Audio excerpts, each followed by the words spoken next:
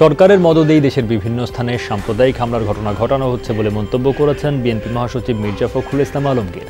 বিকেলে ডিআরইউতে লেবার পার্টির আলোচনা সভায় তিনি এই মন্তব্য করেন। বলেন, ক্ষমতায় টিকে থাকার জন্য সরকার দেশে সাম্প্রদায়িক বিভাজন তৈরি করছে।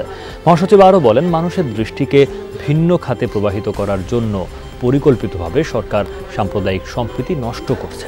বর্তমান সরকার মানুষের নিরাপত্তা দিতে ব্যর্থ বলেও মন্তব্য করেন তিনি। বলেন নিত্য প্রয়োজনীয় দ্রব্যমূল্যের ঊর্ধ্বগতিতে মানুষের নাভিশ্বাস অত্যন্ত পরিকল্পিতভাবে বাংলাদেশে একটা সাম্প্রদায়িক সম্প্রীতি নষ্ট করছেন, যেটা হাজার বছর ধরে এখানে চলে এসছে। এবং সেটা এখানকার সমস্যা নয়, সেই সমস্যা আপনারা তৈরি করছেন।